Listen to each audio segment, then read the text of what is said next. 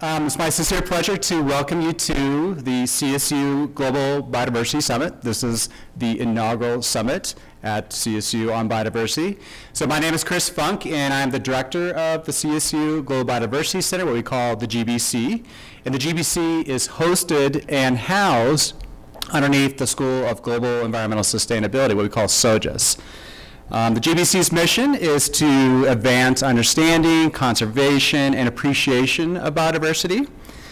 And what we defined as all of life's variation, ranging from genes and organisms to ecosystems and their interactions.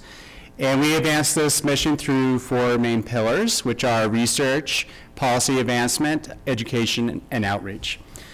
So you may not know it, but CSU is truly a, a global powerhouse of biodiversity research um, especially applied biodiversity research that feeds directly into management and um, policy. So as an example of this, CSU was ranked in the top 10 globally in the category of biodiversity conservation. And this is by the Center for World University Rankings, and this is one of three areas that CSU is recognized by this particular ranking system. And really hundreds of CSU faculty, postdocs, and graduate students and undergraduates are conducting biodiversity research around the world. Since biodiversity research is really spread around campus in different colleges and different departments, our goal the GBC is to serve as a, a, central node that connects these researchers to each other so that they can build the truly interdisciplinary teams spanning across colleges that you really need to solve these complex biodiversity problems. And another goal of the GBC is to connect uh, uh, CSU's expertise in biodiversity research to the external world, uh, international, for example, policy platforms that could really benefit from our expertise. So to advance this goals, we do a lot of different things. We've hosted a number of panels and workshops on and off campus to train uh, researchers how to communicate with policymakers and to raise awareness about the complex issues surrounding biodiversity.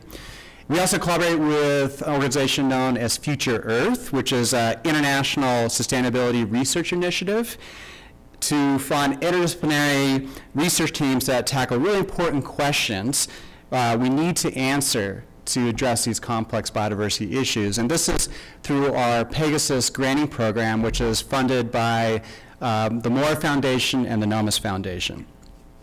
So our Global Biodiversity Summit, which started yesterday, was kicked off yesterday with a keynote by uh, from Conservation International, and extending today with panels, another keynote, and a, uh, a, a movie tonight, which I'll talk about later is our really our official announcement to CSU, the Fort Collins community, the Front Range and beyond about the extraordinary work that people are doing right here uh, on biodiversity uh, around the globe.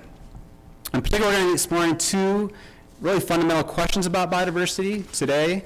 Um, first of all, why do we need biodiversity in the 21st century? And that's going to be the topic of our, our first panel right now. And then at 11, we're going to have a second panel on how can we go from awareness of the threats to biodiversity to action to reverse these threats. So I have a lot of people to thank for helping us uh, fund our summit, um, including the College of Business, College of Natural Resources, Liberal Arts, Natural Sciences, Vet Med and Biomedical Sciences, also the Departments of Biology and Fish, Wildlife, and Conservation Biology, the Office of International Programs, and Whole Foods for their financial support. And I also want to thank Jacob Job, uh, Kristen Pintaud, I don't know if she's here, uh, Laura Shaver and Joel Berger, who have put in a lot of time and energy to uh, pulling this off. So before I introduce our panelists, uh, I want to introduce uh, Dr. Rick Miranda, our provost and executive vice president of CSU, who's graciously made time in his very busy schedule, especially this week with homecoming, to welcome you as well. I don't have my football jersey on.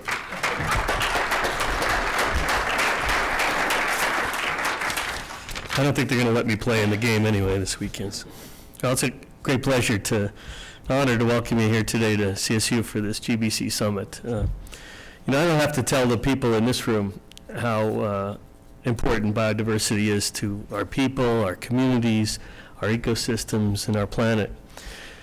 From clean water to healthy food, to our internal and external microbiome systems, carbon capture issues, purity of our air quality, and on and on. Biodiversity is one of those kind of existential elements that truly sustain life on Earth in, in ways that we uh, clearly perceive but continue to strive to understand. Um, we're happy. We're, we're happy about our abilities here at CSU to contribute to the local and national and global efforts in biodiversity research and engagement. And we have, as Chris mentioned, an excellent breadth of faculty, staff, and students thinking deeply about these issues. And we have administrative plans in place too, our clean energy plan, our accomplishments in sustainability, as evi evidenced by our first in the world platinum status in the STARS rankings, our management of the campus generally. Yeah, we're happy about these things, but we're not satisfied. Um, we know that the power of research and the example of our campus policies can be extended far beyond CSU. And that's one of the goals of the GBC and one of the goals of this summit, too, to try and understand how biodiversity affects all of us and to disseminate that understanding far beyond the borders of our campus. To see how we can take the knowledge that we're gaining both here and elsewhere and move it to concrete action. We can make a difference. We are making a difference, but only if we're effectively armed with the tools to do so and the will, the encouragement, and the resources to excite a broader impact with our fellow citizens. We must make this work, uh, as Chris mentioned to me a week or so ago, obtainable, approachable, feasible for our colleagues everywhere to uh, roll up their sleeves and use. Use our research and our policies and our examples to go to the next level of impact. We can, we will, and this summit, I think, will help us do that. It's fall, the colors are changing. Homecoming weekend, as we mentioned, is just upon us. And we see right outside the window the cycle of life, uh, at least in the northern hemisphere, evidence all, in evidence all around us. It's an appropriate moment, I think, to reflect on these issues. So life in the macro sense right now here is going into an annual season of dormancy. And it's time to reflect and renew our commitment and resolve to redouble our efforts in these matters. I was running this morning. Uh, I go running every other day or so and around the neighborhood. We're blessed in Fort Collins with having a great set of running trails with uh, near water and, and creeks and ditches and and there's a lot of life out there. And I was running around and I ran into um, one of our great researchers here, uh, Jill Baron, who works with the USGS, an affiliate faculty member here, member of our community for decades, and she was out walking the dog. So, uh, and so we chatted for a little while. I, I congratulated her on a recent um, award that they've been winning on, on her work in nitrogen uh, capture and, and uh, measurement. Uh, very much spearheaded by her and and student projects. And uh, so we chatted for a little bit, and, and I was reminded, and I, I, was thinking a little bit on my run about this summit today and what remarks I might make. And, and all of a sudden, the dogs that she was, she was walking her dogs, and they're kind of frisky little things. And, and all of a sudden, they, and Jill is not a very large person, so all of a sudden the dogs kind of leaped in one direction, took Jill away from me in our conversation briefly as she struggled to rein him in. And what happened was that there was a rabbit stuck in uh, in uh, uh, a little copse of of uh, vegeta uh, you know vegetation there, little bushes, and it sort of triggered my mind. Okay, there's a little a little a little bit of, of biodiversity happening right in front of me at 5:30 in the morning. Between me and Jill and the dogs and the trees and the bushes and the rabbits and it all happen, it all comes together. Now those are kind of organismal levels of biodiversity. So we know that there are microscopic levels of biodiversity that are just so important to us and macroscopic levels of biodiversity with our atmosphere and our water systems and our oceans. And, And so this issue spans the, um, the gamut, from the small to the large and from the local to the global. And, and there's hardly anything more important that we can, uh, we can roll up our sleeves and make some progress on. So thanks very much for coming today. Thanks for your attention. Hope you have a great day. Thanks, Chris.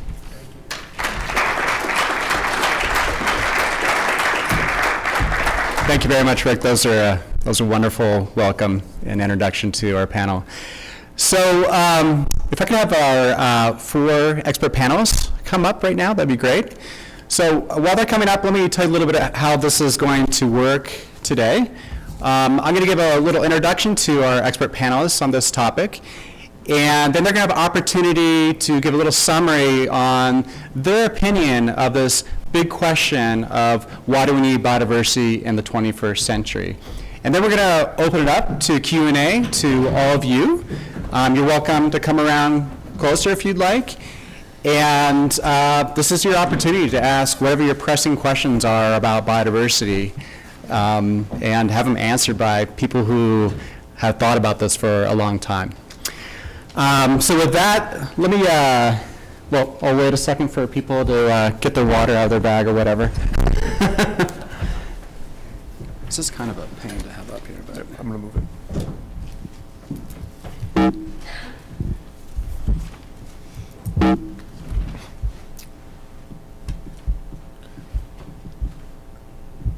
When you're done, I will.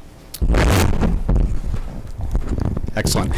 Um, so I'd like to uh, introduce our four expert panelists who uh, come from different perspectives on this big question of why do we need biodiversity in the 21st century. So first off, we have uh, Ed Barbier. Dr.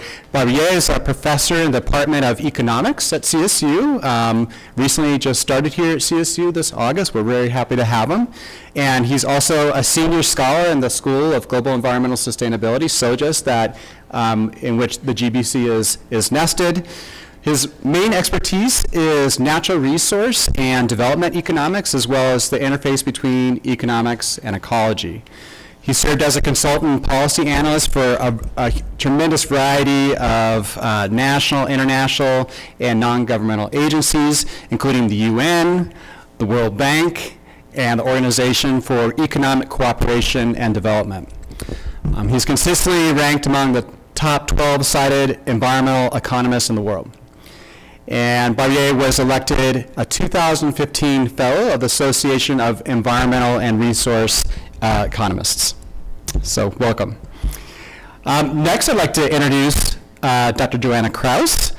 She is a research ecologist at the U.S. Geological Survey. Um, one of the great things about CSU isn't just its diversity and breadth of biodiversity researchers here uh, physically at CSU, but all the associated federal and state agencies that also uh, deal with research on biodiversity. So this is a, a, big part of how we're trying to network with the GBC with, with these agencies. And so we're really happy to have uh, Dr. Kraus here today. Um, she studies the effects of man-made and natural stressors on aquatic ecosystems and linkages to terrestrial food webs. She received her PhD at the University of Virginia and has received fellowships from NSF, the Japan Society for uh, the Promotion of Science, and the U.S. Geological Survey as a um, very prestigious Mendenhall Fellow to conduct her, her research locally as well as abroad. And her work is really used extensively by land management and regulatory agencies to help assess the efficiency of management actions regarding our natural resources. So welcome here. Um, next we have uh, Dr. Tom Dean. Dr. Dean serves as the Kimball Family uh, Faculty Fellow and Professor of Entrepreneurship and Sustainable Enterprise at CSU. He's in the College of Business. His research focuses on understanding business strategies and economic opportunities um, as they, uh, those opportunities that how they're present in emerging social and environmental trends. Um, he's authored uh, a course, a rigorous theoretical examination, and textbook on environmental and sustainable entrepreneurship. And so he's really an, a pioneer in this field of using business as a tool for conserving biodiversity rather than how it's traditionally perceived as an antagonist to biodiversity. And finally, I'd like to introduce uh, Dr. Colleen Duncan. Dr. Duncan is an associate professor in the College of Vet Medicine and Biomedical Sciences, and she's also a member of the CSU One Health Initiative. Um, her research involves the use of pathology to investigate herd level dynamics in both domestic and wild animals. And she's particularly interested in understanding the cumulative effects of multiple stressors on the health of wild populations. And she does some pretty cool research uh, on things like disease ecology of northern fur seals, polar bear health, and skin cancer in horses. All right, so uh, please join me in welcoming our uh, panelists. And so uh, next I'm going to give each of these uh, distinguished experts a chance to talk about their overall opinion on this issue of why we need biodiversity in the 21st century. Okay.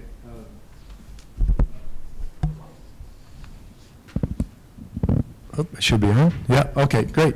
Um, well, thanks, Chris, for inviting me to be part of the uh, Global Biodiversity Summit. It's a pleasure to be here. Uh, it's also a pleasure to be at Colorado State University and uh, to be part of both the Department of Economics and uh, the School of Global Environmental Sustainability. And I want to thank Rick Miranda, Provost of the university, for making that happen. So uh, absolutely delighted. Um, now, what economists like myself have learned from natural scientists is that uh, biodiversity, the, the, variety of life within ecosystems, um, is the invisible glue that allows these uh, precious systems to provide us with a variety of really beneficial goods and services, uh, which are now called uh, ecosystem services. So in a nutshell, what greater biodiversity allows is healthier functioning of ecosystems and natural habitats, which in turn give human beings uh, a lot of support and valuable benefits um, that we can't uh, really do much without. Um, so for example, uh, in terrestrial systems, biodiversity uh, fulfills important functions such as pollination, pest control, nutrient cycling, and carbon sequestration, all of which are very valuable services we're finding out. In marine environments, uh, which are oceans, estuaries, and coasts, um, biodiversity supports uh, recreational commercial fish harvests, uh, reduces pollution discharge from inland, and also um, promotes healthy habitats that are quite essential, such as coral reefs, coastal wetlands, uh, and other important uh, systems. In our freshwater, we, we, we, often don't look at our freshwater and see it as a, a, a, mainstay of biodiversity, but, but there the variety of life supports recreational, commercial um, fishing as well, it absorbs a lot of waterborne pollution, keeps uh, our water, water supplies clean and healthy, and of course there's recreational use, as I mentioned.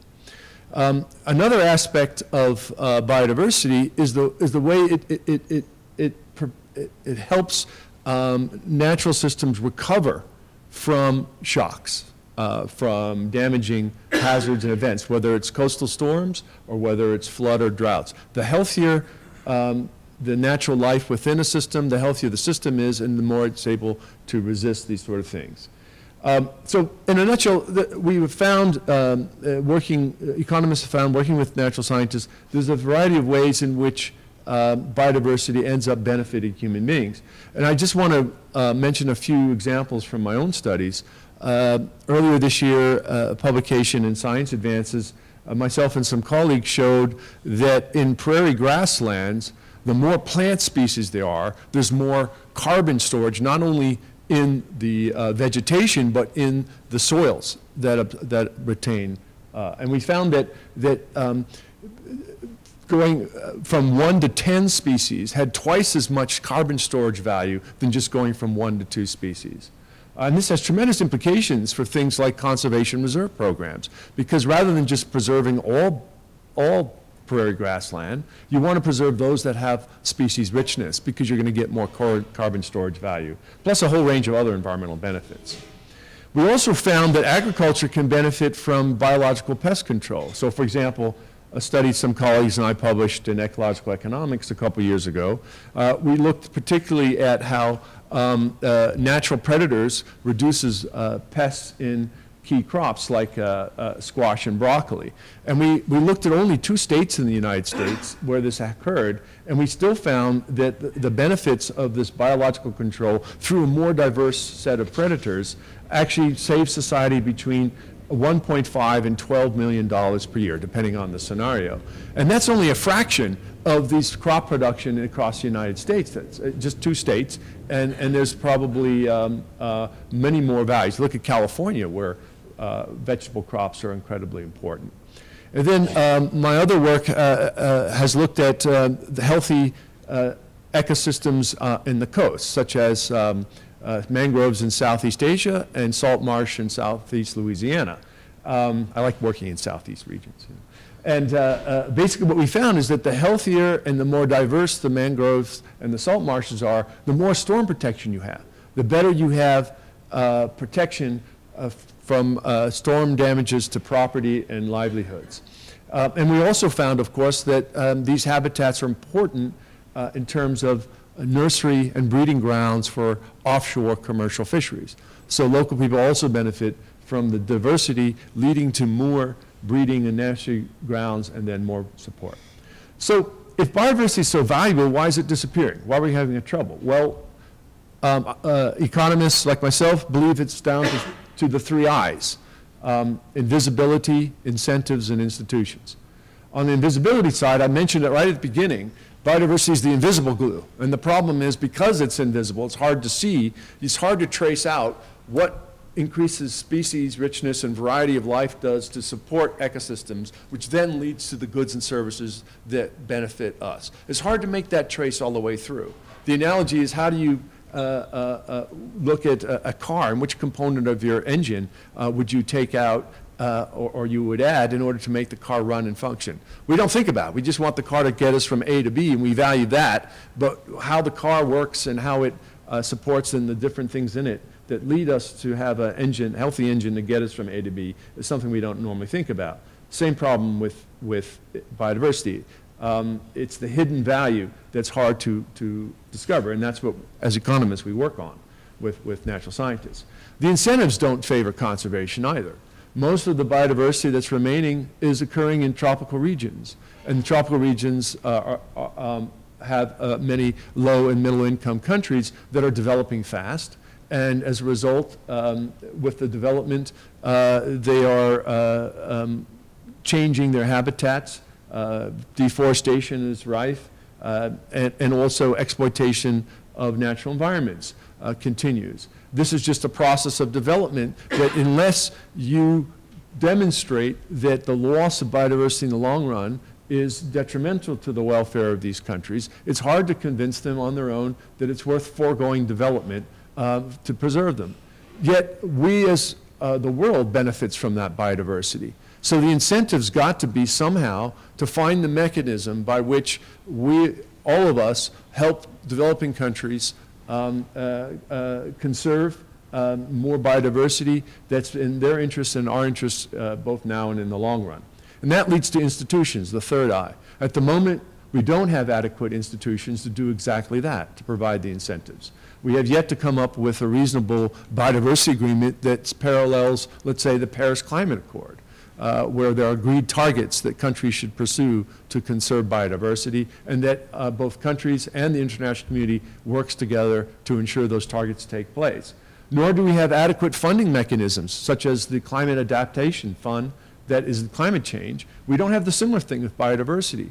To, to help developing countries, those that, countries that are poor but have the world's remaining biodiversity, um, uh, help them to, to make the transition to conserve more biodiversity. And those are the type of institutions we need to think about and develop as we move forward. And I'll be happy to talk more about them later. Thanks.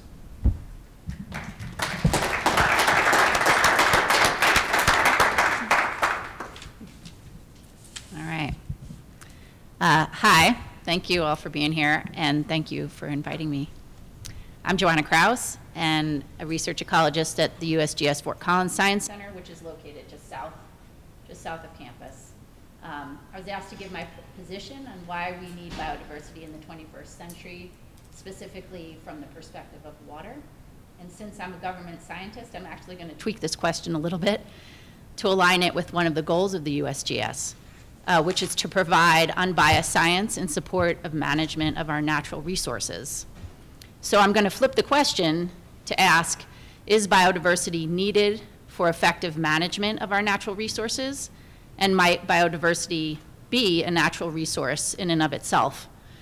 Since we're talking about biodiversity and I'm here to represent water, I'm going to focus my comments on biological resources associated with water, uh, specifically fish. The definition of biodiversity I'm going to apply here uh, is similar to what was mentioned earlier in the promo video. So that's the variability among living organisms, including diversity within species, between species, and of ecosystems. And I'll also admit right now that I actually don't study biodiversity directly. So, for example, I don't ask, does the variability of this system, for example, make it more productive? Instead, I ask, how many and much of these organisms are in a specific location, and what are the interactions among the organisms and between those organisms and their environment that um, explain these patterns of um, abundance and distribution on the landscape. So how does this approach help me address if biodiversity is needed for effective management of natural resources? I was hired at the USGS um, about six years ago to study mountain streams in the Colorado Mineral Belt, which is just uh, southwest of here. It's a band of, um, it's an area where you can see a lot of evidence of historic mining. Um, if you drive along I-70, you see those mine tailings. Um, so, so people in the state and the management agencies here are naturally interested in the fish populations in the streams that I was working in, as fishing brings at least $1.3 million in annually to the state and supports 14,000 jobs. However, the fish do not exist on their own. They rely on insects, plants, microbes, um, and sometimes other fish for food. Thus, we can't just look at how fish are impacted by changes in the environment. We have to look at how their food uh, are affected by these changes as well. And one of the questions I asked as part of the, this, the work that I've done here was how do heavy metal concentrations in the streams due to those, that historical mining activity and acid rock drainage, um, natural, natural weathering, uh, impact the diets of stream trout. So what we found, and we've, we've published these results in Journal of Applied Ecology and um, Ecological Applications, was that the fish eat mainly aquatic insects in clean streams. So in clean streams, about 90% of their diet by mass is coming from aquatic insects. But as the metal levels rise, they switch to terrestrial insects. So in um, moderately impacted streams, over 50% of their diet are coming from terrestrial insects. So in this example, the trout populations and biomass were sustained in moderately impacted streams by ants and beetles, rather than by mayflies, caddisflies, stoneflies, and aquatic midges. This occurred because aquatic insects are more sensitive in general uh, to changes in metal levels than the trout living in those streams. So in this case, having a diverse available uh, food base allows for the diet shift that maintain these trout populations. Uh, another example of how I found biodiversity may affect management of natural resources, as well as potentially be viewed as a resource in and of itself, comes from an Idaho wa watershed that contains uh, spawning Pacific salmon and also supports subsistence fishing by a member of the Nez Perce tribe. In that case, I'm studying how the chemistry of, uh, I'm studying the chemistry of food webs supporting the local fish in, in this watershed uh, that received runoff from historic mercury mining in an area that's slated to be redeveloped again for mining activity. So the number and types of connections between the fish and their food uh, in this system are likely to influence the dynamics of mercury bioaccumulation, um, which can impact the top predators, including humans in this case. These connections also impact how much mercury makes it to land and to terrestrial consumers such as birds and bats uh, in adult aquatic insects. So if you think of mayflies that live in the water as larvae, they come off the water as adults. You see those flying around streams. So those can actually be like little packets of, of certain contaminants like mercury and PCBs, bringing them to terrestrial uh, consumers. So the Nez Perce, they value information about these food web connections as well as about the health of the ecosystem itself. In other words, having an intact ecosystem Thus, maintaining some of the var- variety of connections that evolved in a region may be a priority in and of itself uh, to be maintained. So in conclusion, these examples and many others involving biological, cultural, and aesthetic values that we place on nature illustrate uh, one way that biodiversity might affect our natural resources as well as be considered a, a natural resource to be managed. Um, so thanks.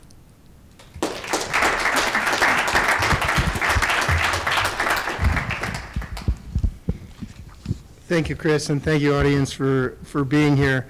Um, I'm from the business school, so sometimes uh, among scientists and others who look more deeply uh, about this, I feel a little uninformed, maybe even like a fish out of water. Um, but, you know, as we know, fish can grow legs and lugs as well.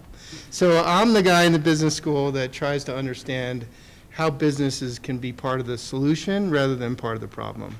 And so my perspective is as we move forward in these challenges of biodiversity and climate change, and there's no better efficient and often more effective actor than businesses and more specifically the process of entrepreneurship.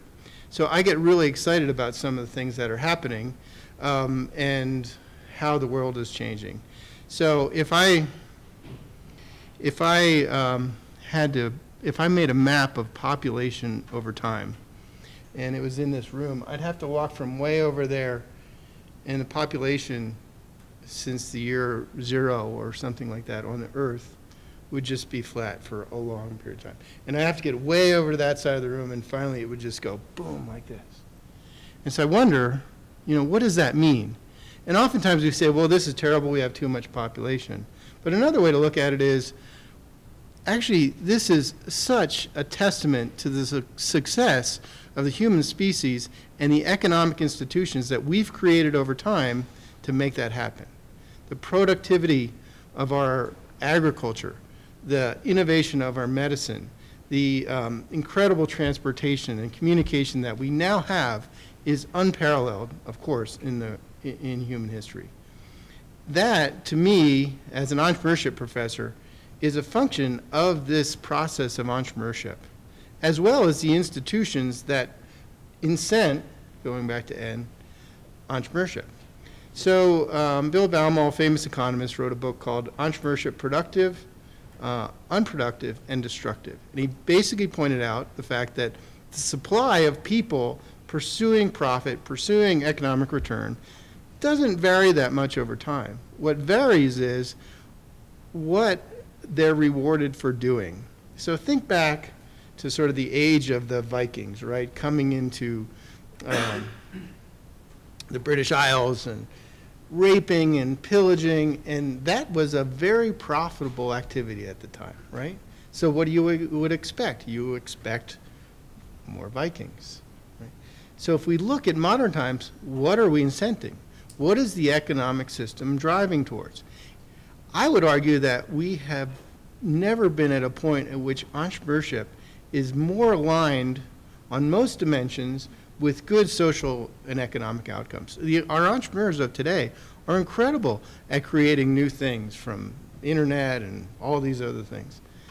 But that's not to say it's all good, right? So what we know is the process of entrepreneurship and capitalism is at the same time unparalleled in the course of human history. It's also eating away at the fundamental ecological resources that is needed for business and society to survive. So how does that begin, how do we begin to change that? How do we, how do our institutions catch up to this, you know, sort of immediate spike in population? So most people sort of see sort of economic parameters as fixed, right? Like, oh, well, this is the way the world works and we're just gonna play within that world.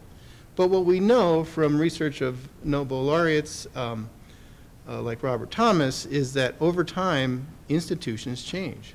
So what institutions are needed in this modern world of uh, decreasing biodiversity, climate change issues, all these things, what new institutions need to develop that will motivate entrepreneurs to change um, their behaviors?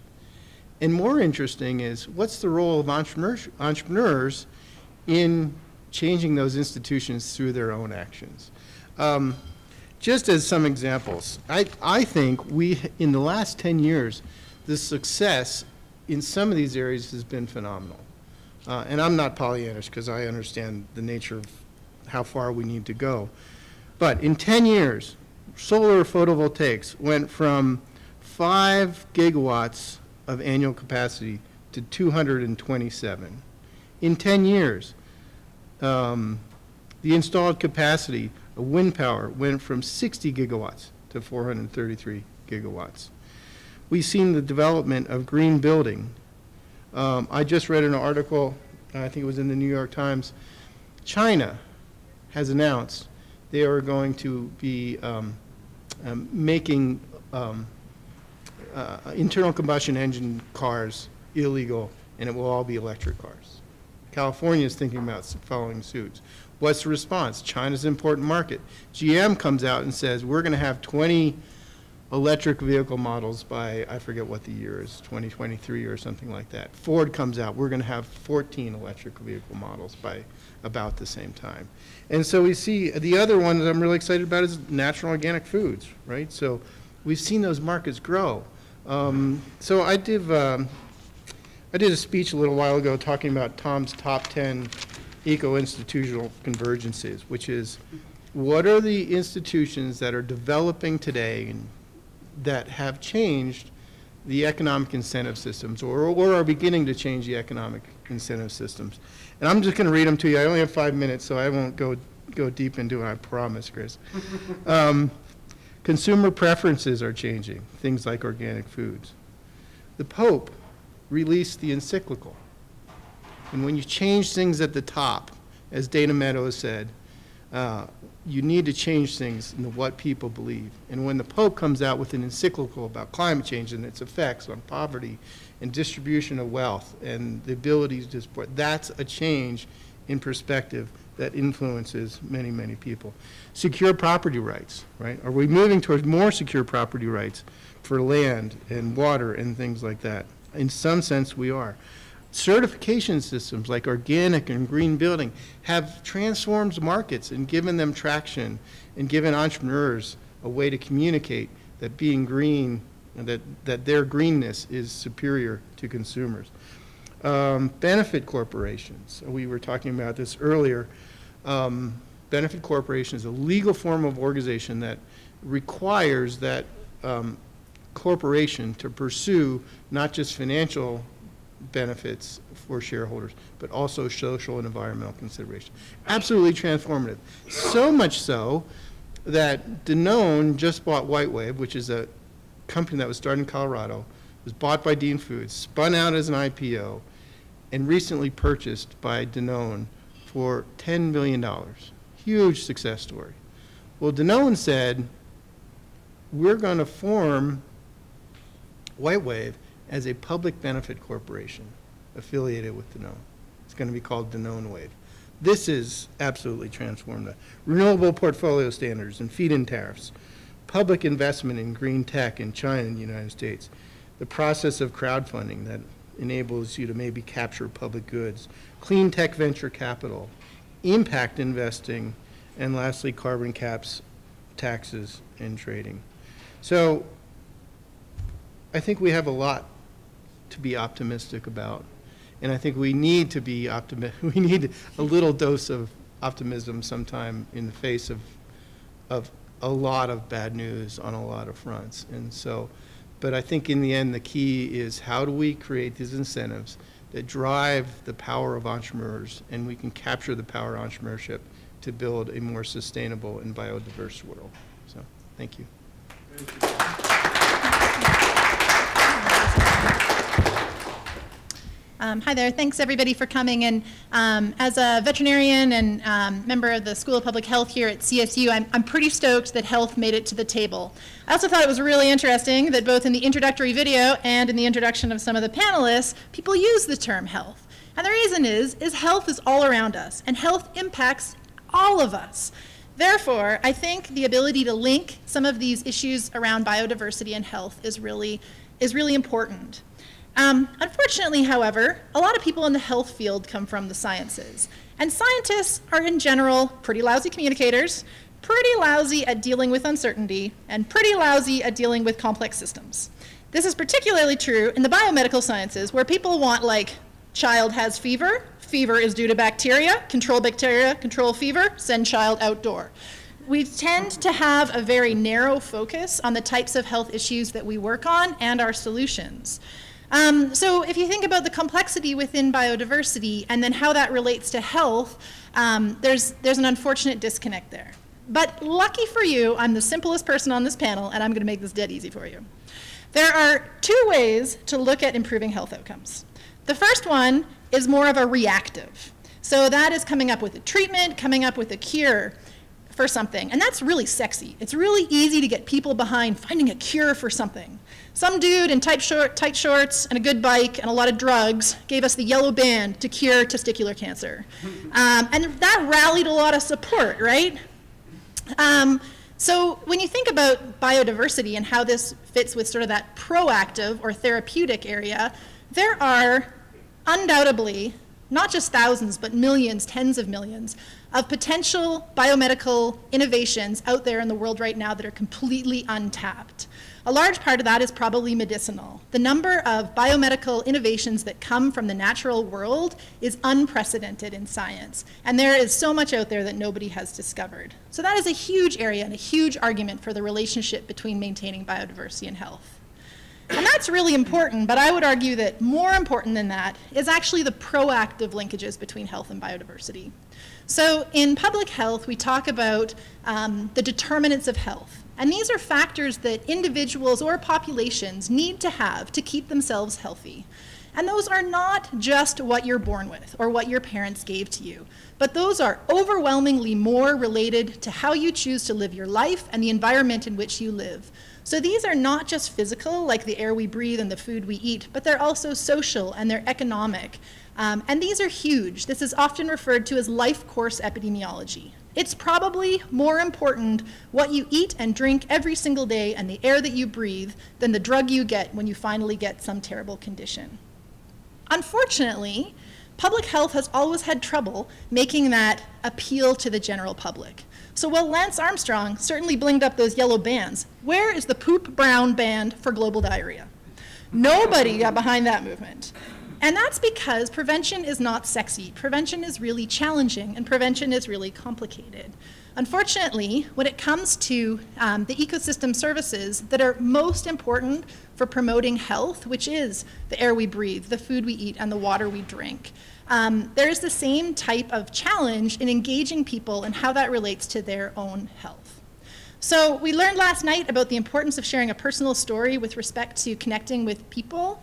I will tell you that a few years ago when I first started doing polar bear work, it was quite literally Earth Day when I hugged my first wild polar bear after I had darted it out of a helicopter, which was pretty epic already. Um, and I swore that day that I would do whatever it took to commit to um, reducing my carbon footprint and helping keep this habitat that polar bears need to survive. So I went home and I bought my electric car, first of two, um, and I, I definitely changed behaviors. But I get why the polar bear is a lousy icon for climate change probably only two other people here may touch wild polar bears in their lifetime, if even. So that's a really hard thing to get people to connect to.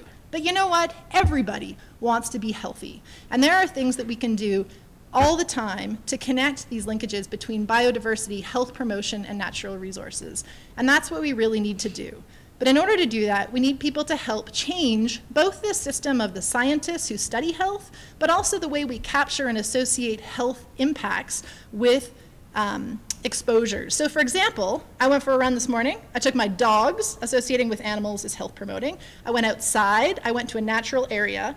But then I also pulled this stick out of one of their tails and I got a splinter and this may become an abscess. But when I go to the hospital to get this lanced, um, they will only write down foreign body abscess. They won't write down, hey, that chick ran 5K with her dogs and got some fresh air this morning, and that is health promoting. So we have this huge disconnect, and we need everybody in this room, everybody on this panel, to start thinking about health in the context of um, the system in which we live. That's all I got.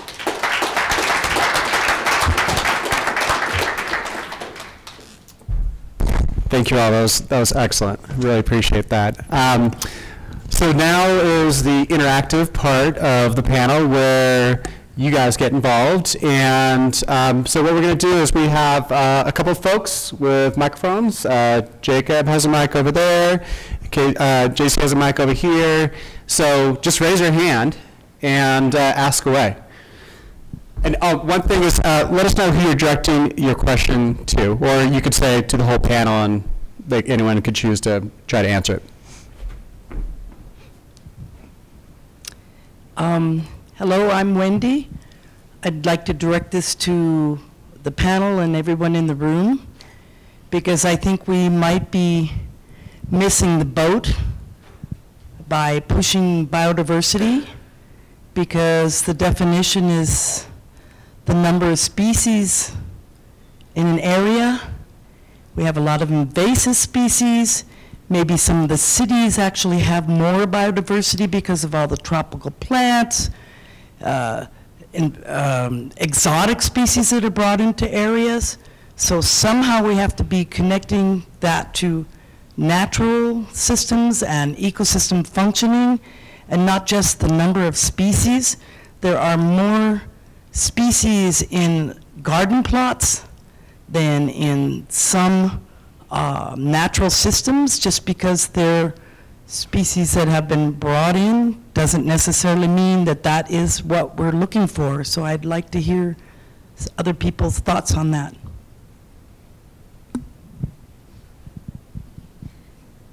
All right, I'll just take a short start to it because I love that question. And I actually thought about this a lot when I was preparing my comments. So where we live right now is high desert. The, the actual species diversity here is low compared to other areas of the country like the southeast. Um, and so I think for me, part of the answer to this question is biodiversity is a slippery, tricky term because it is a commonly used buzzword. Um, and so it's important that we define what we're talking about and that we also understand what our endpoints are that we're interested in uh, obtaining. And so from my point of view, you know, talking about this sort of providing science for a management perspective, it's important to work with managers to understand what the endpoints are and to also understand that part of their what they're managing may be, you know, mineral extraction or maybe, you know, timber extraction or, you know, something, food production. You know, there's plenty of kind of competing uh, competing goals that may be going on in the same area. And, you know, um, but there is a lot of work done, at least down, you know, in the Fort Collins Science Center where I'm located on invasive species in particular. And I can tell you that there is a lot of money put towards, you know, controlling invasives, at least at the government, uh, at the government level, um, because of the threats that it, it that those pose for native native uh, animals and plants. Um, so I don't think I really answered your question, but I just wanted to say I think it was a good one. I also, uh, thank you very much. It's an excellent question. Uh, the issue of invasive, invasive species or what type of species we want is, is a critical one. Um, I've, I actually worked uh, on a study with some ecologists and economists on uh, the impact of the horticultural industry in North America on an, the introduction of exotic species, some of which become invasive species. And that distinction is incredibly important because in your own example, uh, gardening, uh, people have a lot of exotic species. Not all those exotic species, which are often on sale by the horticultural industry, you know, garden centers and so forth, not all those species that people buy that are in their gardens end up in the wider environment and end up being successfully established and become invasives. But those that do can cause a lot of damage. And the question really is one of trade-offs, which is where economics comes in. You have the profits and the benefits to people of, of having wonderful gardens in their homes here in Fort Collins and elsewhere. Uh, that's beneficial to, to some members of society um, to have a thriving horticulture industry, plus having people enjoy uh, house gardens uh, and stuff. But on the other hand, there's the risk that one of those plants may get into the wider environment and cause a lot of significant environmental damage to species, uh, to, sorry, to ecosystems that didn't have those species before. And, uh, and so uh, there, what we find is that the invasive species comes in and outcompetes or it changes the habitat, and that causes damages. So one has to be very careful uh, uh, exactly. It's not all, um, all variety of species that matters, and you shouldn't preserve all species richness, but you should be careful what the trade-offs are, what the benefits and costs are. But getting to another aspect of it, um, it's also, as I pointed out in my talk at the beginning, it's really hard to look at an ecosystem and to see if you increase the species richness of that ecosystem, what do you get out at the end in terms of benefits? That's hard to do, but we're starting to get better handle on that because we're starting to trace out um, what does it mean uh, to have uh, increased species in terms of carbon storage, in terms of better habitat for breeding, for uh, healthier ecosystems, for protection. And, and those things we can value. But it's a long process and we have to do more of that to figure out what is the value of having more species or less. Thank you. I'll, I'll just add to that. Thanks for that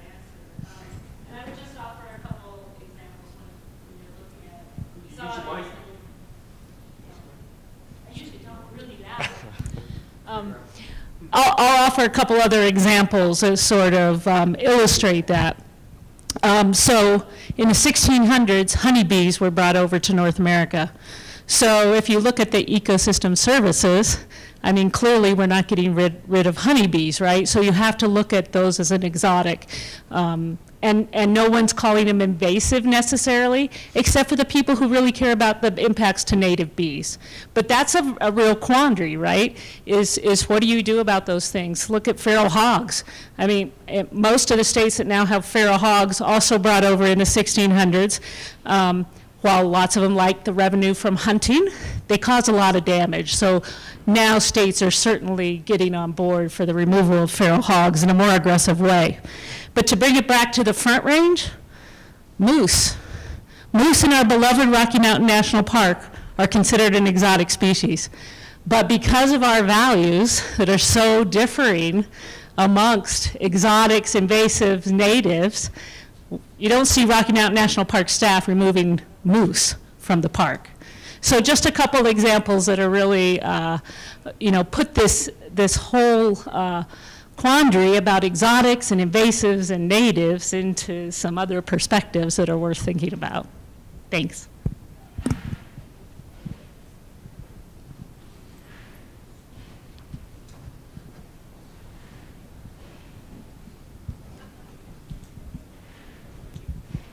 Thank you all. Um, this one is directed towards Dr. Colleen Duncan.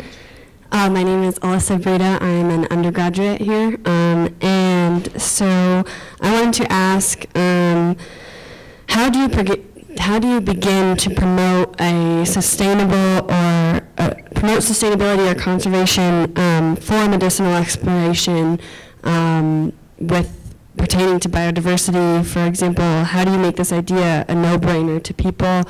And um, do you talk about, you know, examples that we've already made many um, advances in medicine based off of natural um, products medicinally that have, you know, promoted cures or gone a long way in the health community?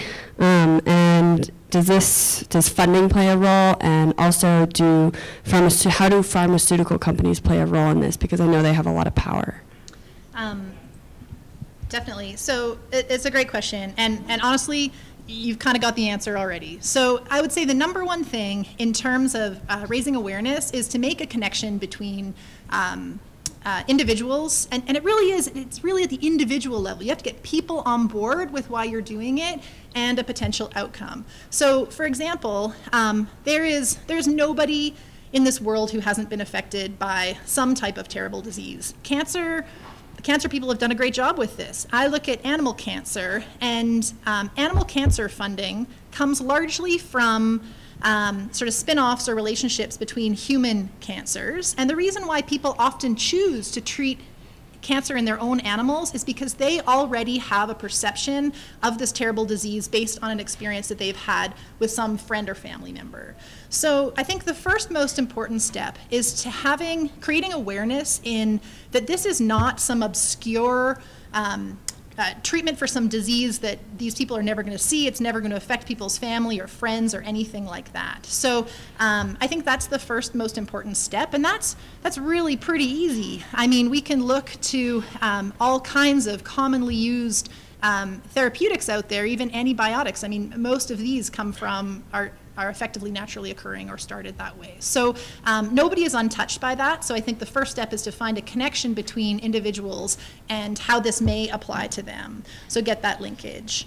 Um, in terms of big pharma, that's always an issue, right? At the end of the day, though, um, even if you uh, and there are some great folks in pharma. But um, even if you look at it from the standpoint of pharma's only in it for money, there is actually an economic benefit to this as well, too, right? So um, for a lot of these synthetic compounds and synthetic um, uh, sort of complex therapeutics, there are costs, huge costs in many cases, both in R&D and also production and sustainability. So things that balance more within kind of a natural ecosystem are actually very valuable. So showing that value or having them realize that is, is big. Um, getting pharma on board with these types of um, treatments is, is really important as well. Um, but I would say that the most the, the key piece is really creating an awareness about how related this is. The thing that comes in the jar from the supermarket actually came from the world around you and creating that type of connectivity. Um, because it's people having a voice that actually will be heard by industry as well. And it's that should never be underestimated, the power of sort of public voice and public persuasion um, within economic systems. That drives our economies. So I'm not sure if that totally answers it, but. Uh, Can we ask the panelists to talk closer to the microphones, or you can remove them off the stands as well if it makes it easier? Yes. Thank you. We have a question back here. Uh, So, uh, uh, I'm Joel Berger, and I have a question for the entire panel. Um, When I think back um, to the late, uh, to the late, uh, the final years of the 20th century, the state of California was considering how to move education forward. They still do that, of course. And one of the topics that was on the agenda for the K through 12 um, courses involved a new required course, and there was debate in whether it should be a course in economics or a course in environmental sciences. And I thought, wow, what a great opportunity to think forward and a lead by California. Well, as it turned out that they invoked a course in economics, and of course, based on what I hear from the panel and know that people on the panel see the world um, through the eyes of biological diversity, and it's important. But I'm not sure that that was the, the way that the choice was made. And so I guess my question for um, people on the panel are, what is it that you think we can do educationally at a level that is not just college students to help fuel the connect that you uh, that we're all focusing on? I'll, I'll, go ahead, Tom. You should. Joel, that's a great question. Um, I think the big problem, uh, the big mistake California did is to perpetuate the myth that economy and environment are separate by doing that.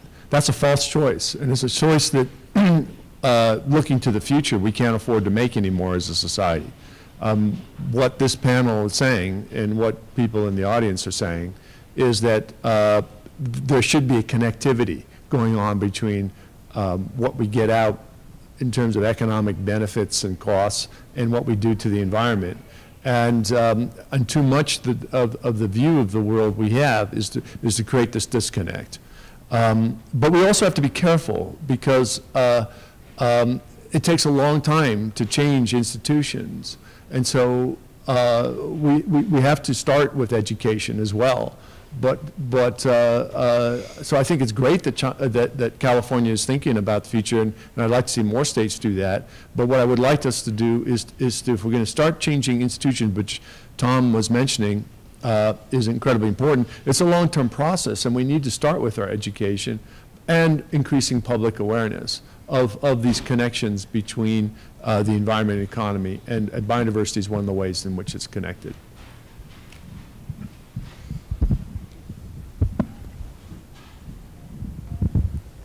So I guess I'll add to that as well. Um, And I I concur, it should have been a course that combined them both, uh, at least part of the economics course. Um, But you could probably, probably should have adopted both of the courses. Um, But the question is, how do we make, um, how do we make great capitalism great environmentalism? And in my mind as well, how do we make great environmentalism great capitalism? So how do we bring those together? How do we make the economic system serve everything we want it to serve? Uh, But the question of education is a really good one because when it comes to institutions, we look at the broad, sort of general, informal institutions that sit in what I call embeddedness, and that's the beliefs, the values, and, and Ed's exactly right. Those take a long time to change. But they're also rooted in exactly what you say, in the K through 12 system. That's where we're forming these values and understandings and knowledge. And it's really important to have that foundation across the entirety of society. So um, I agree, we, we need to do a better job at that level. And then that filters down to everything else that happens, I think, in society. Um, to some degree, there's a transformation in business schools. Uh, I, I have to say that business schools sometimes are very much part of the problem here um, eh, from the values we sometimes teach um, to, um, you know, what we say about the way systems work and not thinking more broadly and reflectively. Um, and that's true across, I think that's true across most of business schools within the United States. On the other hand, we're seeing tremendous change within those schools um, in speaking about some of these and trying in, in trying to understand it. We have an MBA program focused on social and sustainable enterprise. Um, so if you want to move into, you, you, know, I think the power, the business is very powerful um, uh, uh, source of change. Um, I'd invite you to check out our, our MBA program and if you're an undergrad right now and interested in how we use the power of business to, to make some of that change there are MBA programs that are that are that are doing that, and uh, we have a really good one here at CSU. So sorry about the plug, but we'd love to see you uh, in the classroom.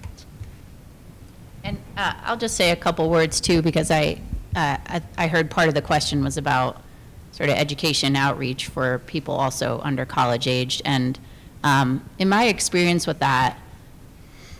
Uh, basically working and also volunteering with, with young people, what seems to connect with them the best are what people have said before is stories, you know? So doing these bioblitzes or those kinds of nature interactions one-on-one with students and telling them things like this dragonfly larvae breathes through its butt you know? They love that stuff you know? And it's true. That's where the gills are. And so um, and so the point is that I think that that one-on-one, you know, get, you know, I mean, this is not new, uh, but that one-on-one, get into nature, get dirty, but also over time in my career, I think I've become more of a pragmatist because, you know, for example, in the, one of the surveys that we did with these young students, it was downstream of a dam. And all the ecological indicators suggested that the stream was in really good shape, actually. you know, and I think in working in my current position, um, part of the idea of providing unbiased science is actually um, trying not to use impassioned language, uh, illustrating a previous bias towards one outcome or the other. And I know that all scientists aim towards being unbiased, but there's just a particular sensitivity when you're working with multiple groups of people that that you know no one's going to sit down at the table uh, with me if they feel that I already you know have it out against their activity. You know they're there because they want to do things in a better way. Um, and so I found personally that that's that's been something that's come out of my career as well that I think can also benefit you know educational opportunities with students to show them it's not a polarized world. We really have to work in this gray area throughout our whole lives, and setting students up to be able to do that is I think, going to be crucial uh, moving forward.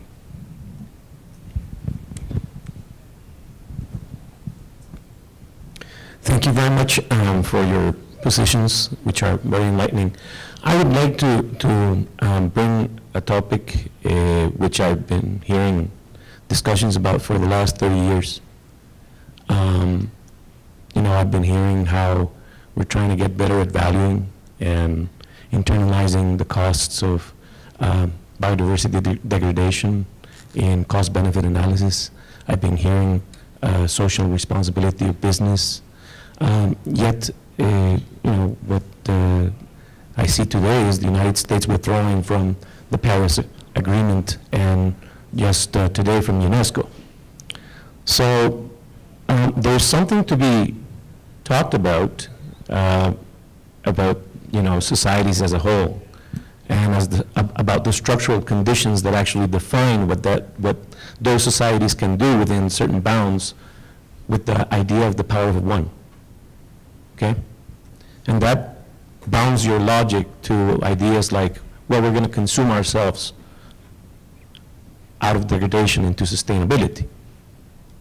So my, uh, my question would be, um, what do you think about the issue of metabolism, the issue of having a society that is based largely in its beliefs uh, in vigor, not in diversity, not in resilience today, unfortunately, but actually on the vigor of um, its capacity to produce, to grow. And uh, I'm, I'm sure that Dr. Barbier is probably um, very, very well versed into this discussion of, well, does, does grow, does growing the economy really lead us uh, to the paths of, you know, being able to have happy societies um, and uh, global biodiversity?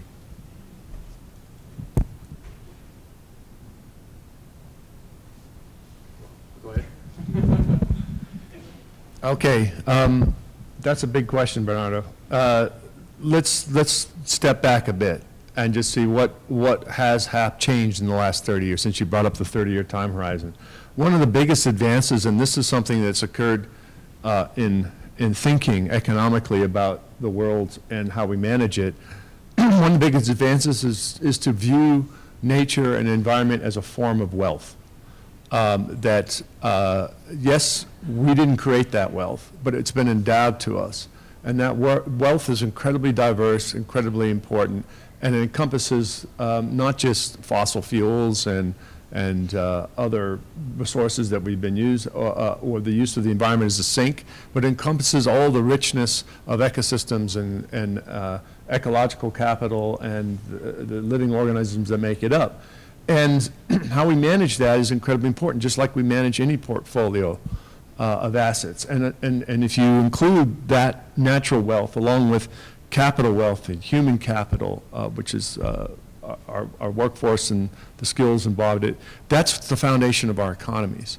And so, um, yeah, the federal government sometimes don't get it. We have a good example that you brought up uh, of a government that's made a big mistake, our government, in withdrawing from the Paris Agreement. But look, uh, the advantages of, of, of a market-based democratic system like ours is that it's more decentralized, and there's actors at different levels. There's corporations, there's businesses, there's entrepreneurs, there's states, there's local governments. There's something called the, the Climate Alliance, for example. And um, uh, the, the Climate Alliance, including, including the state of Colorado, is, is dedicated to, to maintaining the Paris Accord. Um, uh, there's actions taken all the time at the corporate level to try and overcome some of these things. For, so, for example, World Resources Institute um, has made a list of, of, of corporations that have uh, pledged to voluntarily carbon reductions, and they've touted it up. And the amount of carbon reductions that these corporations will make is equivalent to the entire CO2 emissions of Indonesia, 3% of, of global emissions. That's significant. So what I'm saying is that, um, is that uh, our economic system shouldn't be tossed to one side and said it's an environmental uh, problem and we have to deal with, with, with just the environment uh, and, and stop the economy from growing. But we have to think of ways of how we grow and how we innovate and what type of quality of life we want and what types of goods and services we want. And if we treat nature as part of that equation, as part of the wealth on which we, we, uh, we depend on for our well-being and for our, the future generations, then suddenly it becomes part of the good and the services that we want to have. And then it becomes part of what, what the economy as, as, a, as a whole is producing, and therefore it's part of our growth and development. And so that's, uh, that's the alternative to saying it's either growth or no growth, which I think is incredibly narrow and I think uh, very um, um, un, uninspiring way to look at, the- and depressing way to look at the current and the future. So it's how we change, how we develop, and where, what's nature's role in that, and, our, and i- is what matters most. And I think that's been a major development in the last 30 years, uh, and, and um, we have, in my opinion, uh, to keep pushing that, and uh, to, because cha- things are changing very quickly. Um, I would just add to that, to, and linking to the previous comment, there's a lot of, um, uh, so, so in my field, in, in animal health, um, certainly science has shown that you rarely change the opinions of the people of probably decision-making age, but you always change the next generation. So in terms of making huge advancements with respect to, say, use of animals or whatever, you start with kids. The same is shown in sustainability. Um, sustainability education young uh, will uh, result in policy actions that, that really almost can't be done within the generation that's currently making policy. So I, I just think that this really ties into the education argument as well too, um, and the importance of getting that um, adopted really early. It's really a, a culture, um, and and that starts with young, with youth. So I think that's a that ties into the education argument and the importance of establishing early education in these really important areas. Well, there's a lot to unpack in your question. Um, so, uh, but let me let me give it a shot. I think first off, it, it is a lot about how we grow, right? So what are we growing? What are the technologies behind it? And what are the impacts of that growth? And what kinds of things are we, we purchasing? Um, I'm, I'm not sounding like the business guy, I guess, but I'm really concerned about the effects of advertising, right? Because I think economic, the economic system is sort of meant to, you know, in a sort of theoretical perspective, the economic system is supposed to deliver utility, right? Or satisfaction, or maybe if you really want to get out there in the crazy world, say happiness, right? But what happens is if, it, with advertising, you begin to change people's values, right? So not only, people aren't just buying what is sort of some um, uh, neutral understanding of their own satisfactions and utilities, you begin to influence what people buy. And so people's values over time, I think, change into what's advertised them as being good, and therefore they're consuming all these things that you can sell. And some things are more difficult to sell. Love, kindness, you know, whatever it might be. N- Nevertheless, uh, the linkage between GDP is just, it's just a terrible measure. I mean, we constantly measure GDP as a success of our society. And oh my God, it's like running a, it's like you're trying to run a business just based off its income statement without looking at the balance sheet. I mean, you can destroy your assets and increase your income, um, and you've accomplished nothing. I mean, take, you know, what will happen after these hurricanes in Texas and Florida and the Keys and the economy will probably go back up, but they're just fixing what was damaged, right? So GDP might look pretty darn good in some of these areas because there's a lot of economic activity, but the net result is very little marginal marginal good. So um, GDP is a really bad measure. If we, but if we look at GDP, the relationship between GDP and satisfaction with life scores, or maybe happiness, which this stuff is all like really hard to measure anyway. But if you look at the measures people use and you correlate it by country, GDP to satisfaction with life or happiness, um, there's a strong positive correlation. But what happens is that positive relationship is attenuated at higher levels of income. So really what it says is low GDP results in unhappiness and low satisfaction. But after a certain point, higher levels of GDP do not necessarily equate with higher levels of satisfaction. So the curve kind of goes like, like this. So, um, you know, how much more do we really need? Um, and now I'm, I'm just tempted to get into the whole, the whole world of, of, of inequality across the globe, which is a whole, which is, which is just phenomenal. I think the last figures, and maybe, maybe Ed has this on the top of his head, but uh, something like 1% of the people own 40% of the assets in the world. Seventy percent. Seventy percent. There you go. Um, just, that's absolutely stunning. Um, and so, I saw, uh, somebody did a video or TED Talk or something, uh, interview on NPR, I forget where I saw it, but the pitchforks are coming, right? So in addition all the environmental challenges, um, it's like the French Re- Revolution. I mean, sooner or later, people at the bottom get really upset.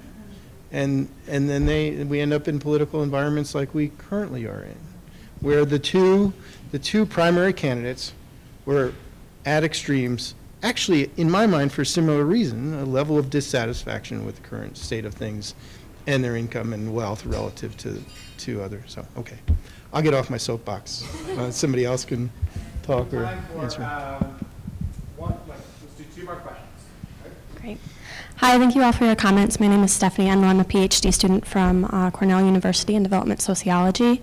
This question is primarily for Dr. Barbier, but I would be interested in hearing other people's thoughts as well.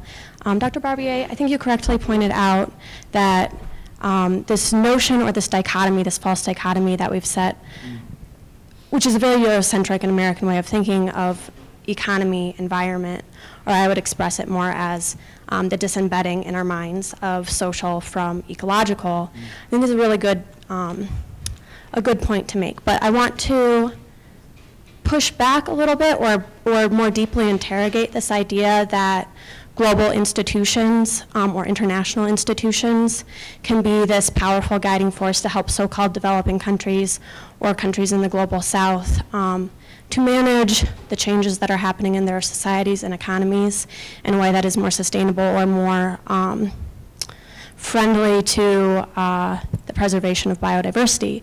And the reason I want to push back against that is thinking historically about international institutions. Think about IMF World Bank um, and the role that they played in Africa during the structural adjustment period and absolute, absolutely catastrophic impacts of those inter international institutions um, and how um, American power played a role in shaping those institutions, and then thinking more into the present, think about NATO as some kind of international governance structure, and how NATO encourages, or basically forces Mexico to accept cheap corn from my home state, Iowa, um, grown in a way that is extremely detrimental to biodiversity, therefore disenfranchising or dislocating smallholder farmers in Mexico.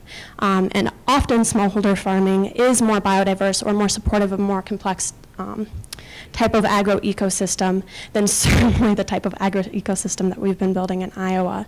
Um, and so given that international institutions, governance structures, et cetera, have been shaped so powerfully by very Eurocentric ways of thinking, ways of doing um, regarding the environment, regarding the economy, what society should look like. Um, I guess my question is, what are the opportunities that you see to bring more types of voices to the table if we're going to somehow create some kind of in international institution to help um, govern the way or think about the way that we uh, support biodiversity going forward? Uh, Big question. Um, first of all, I, I think you made a, a, little bit of a mistake there. NATO is the no North Atlantic Treaty Organization. So NAFTA, and NAFTA is not an international organization. It's a treaty. It's an agreement, and and so. Not really, but that's all right. Um, uh, it's a, uh, but no, nonetheless, let's let's go go to international institutions that that we have created, such, such as the World Bank, IMF, and the United Nations system which, by the way, are all part of the same system. Um, you can always look at the things that go wrong and the things that are bad that's happened to these, but there's been also a lot of good that's been created uh, by these institutions. So, uh, for example, we wouldn't have the Paris Climate Change Agreement if it wasn't for the UN um, Framework Convention on Climate Change, which is part of that institutional structure. Um, the, there's the Global Environmental Facility, there's uh, the Biodiversity Convention, all of which are managed by the system. My, my, I actually agree with you. The problem is, is the fact is that we haven't handled the biodiversity, global biodiversity problem very well at the international level, and our institutions aren't working well to do that. Uh, and that's what I was actually saying, is that we, we need some, uh, uh I think the Convention on Biological Diversity, which was part of the uh, 1992 UN um, uh, first Sustainable Development Conference, conference or Environment and Development Conference in, in Rio, um, that, that uh, uh, convention was kind of modeled on the old style of convention. Let's just have everybody in the country agree and have targets. I think we can't do that anymore. We don't have the time and we don't have um, uh, the, the, the ability to agree across countries.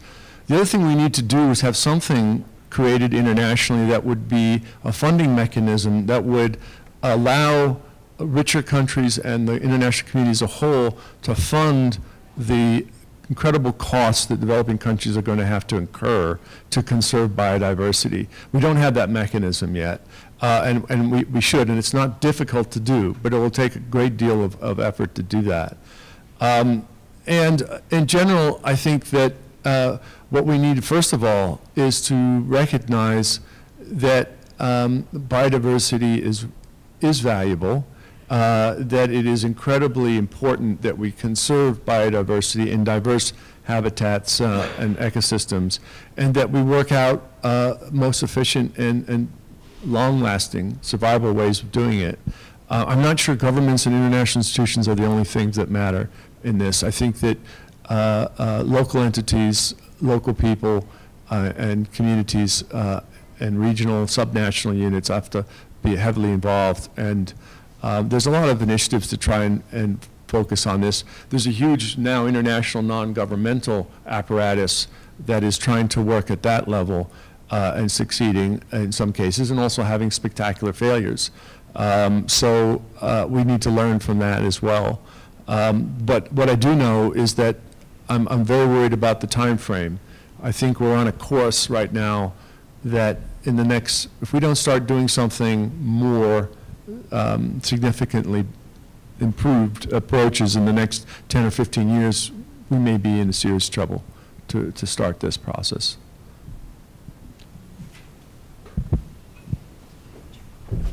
All right, I'm, I'm going to stop it there because it's 10:30, so please join me in thanking our, our panelists for answering your excellent questions.